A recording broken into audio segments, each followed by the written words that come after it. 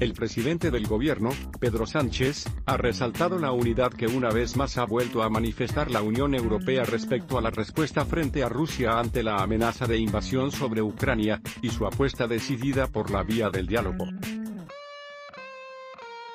En una breve declaración al término del Consejo Extraordinario convocado para abordar esta crisis, ha ensalzado el despliegue de unidad que está mostrando en su respuesta a Rusia la UE y también la Alianza Atlántica.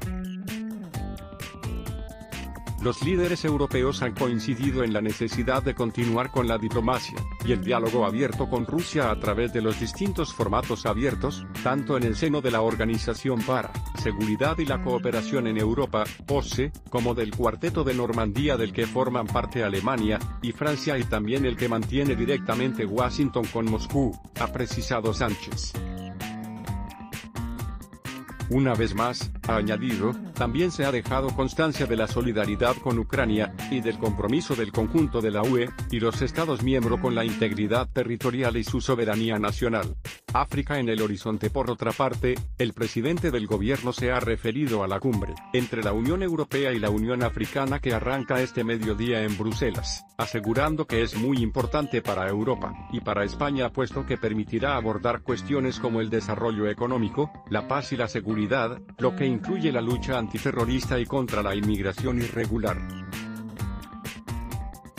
publicidad tenemos que plantear estrategias conjuntas entre África y la UE para hacer frente a los retos globales, ha añadido, citando en particular el cambio climático. Tras recordar que desde 2017 no se celebraba una cumbre de este tipo, ya que en 2020 tuvo que aplazarse por la pandemia, Sánchez ha insistido en que constituye una buena oportunidad para reforzar los lazos estratégicos entre la UE y la UA. Anatoly Stepanov Viagetti Images Future Publishing Viagetti Images Future Publishing Viagetti Images Brendan Hoffman Viagetti Images Opa Images Viagetti Images Brendan Hoffman Viagetti Images Brendan Hoffman Viagetti Images Brendan Hoffman Viagetti Images Via Associated Press Anatoly Stepanov Viagetti Images Sergei Malgarko Viagetti Images Via Associated Press Alexander Ergochenko Via Reuters también te puede interesar Adblock